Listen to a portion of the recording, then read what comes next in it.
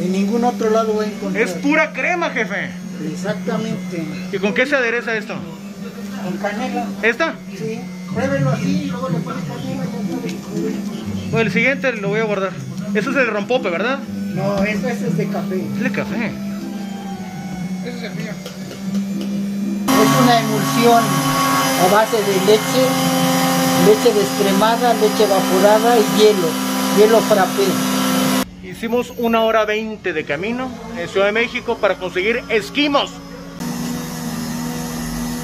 de rompope y Nescafé.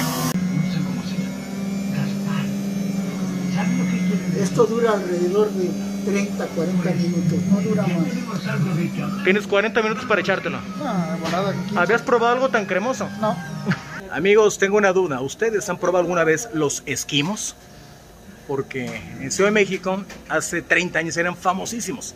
Cuando vive aquí, los vendían en todas partes y ahora resulta que es una bronca encontrarlos. Estas son las famosísimas máquinas esquimeras, que no sé si en el norte las conozcan. O sea, a ver, ¿cuál es la diferencia entre malteada y esquimo, amigo? Eh, aquí no usamos leche entera, aquí usamos leche descremada y hielo. Leche descremada y hielo, ok. Un verdadero esquimo cremosito. Dice el amigo que dura entre 30 y 40 minutos para descremarse o disolverse.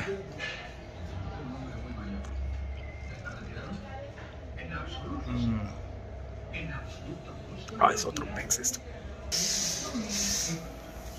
Hormonita, ¿sabe diferente una malteada? Totalmente diferente. Ah, no, es una malteada, güey. Ya, pídete una malteada que estar fregando. ¿Qué te dije, güey? ¿Qué te dije, güey? Bueno, perdón. Pura espumita la puedes masticar. Se sienten micro pedacitos de hielo. Por un esquimazo. De rompope y la cerveza de raíz son... O sea, la cerveza raíz es receta suya. No, esto es este... El roast beer, ¿se ha oído hablar de Sí, claro. Eso es. Pero ustedes lo hacen o lo compran o cómo? No, aquí lo hacemos. Lo hacen, por eso es artesanal. Es el root beer. Hielito. Es como un raspado, amigo ese. No.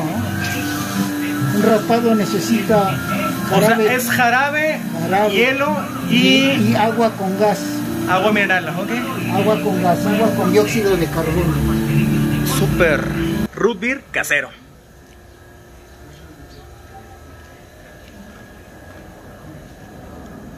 Me sabe diferente a lo que conozco.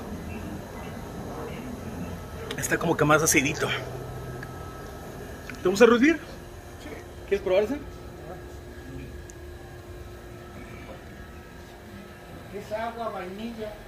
Sí, sabe mucho a vainilla. Súper tradicional, simple y delicioso. ¿Cómo se llama el local?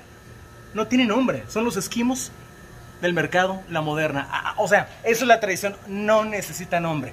Casi 70 años de estar en el mismo lugar. Para los que quieran visitar, así se ve por fuera, Mercado La Moderna. En la colonia La Moderna de Ciudad de México.